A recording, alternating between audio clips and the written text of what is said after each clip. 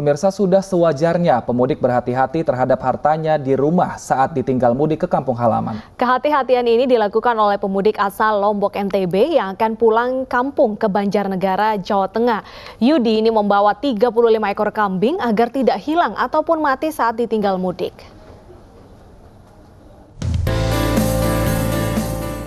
Pelabuhan Tanjung Perak, Surabaya mulai dibanjiri pemudik dari berbagai daerah di Indonesia.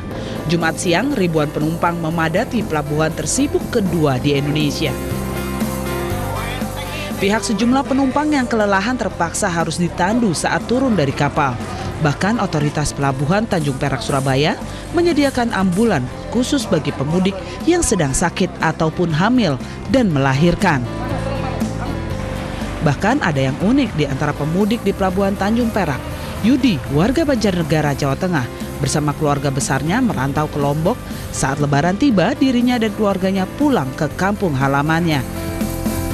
Yudi mudik selain dengan keluarganya juga membawa ke 35 kambing peliharaannya. Alasannya, ke 35 kambing jika ditinggal di Lombok bisa hilang ataupun mati. Demi menghindari itu semua, Yudi memutuskan membawa harta terbesarnya tersebut. Selain menjadi aman, sebagian kambing tersebut bisa dijual di Banjarnegara yang memang harganya lebih mahal dibandingkan di Pulau Lombok. Berapa kambing, Mbak? 35. 35. Untuk persiapan lebaran juga nih? Ya.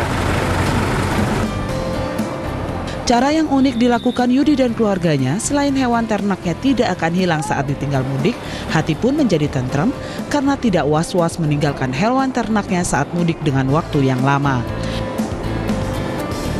Dari Surabaya, Nur Syafei dan Sony Hermawan, iNews melaporkan.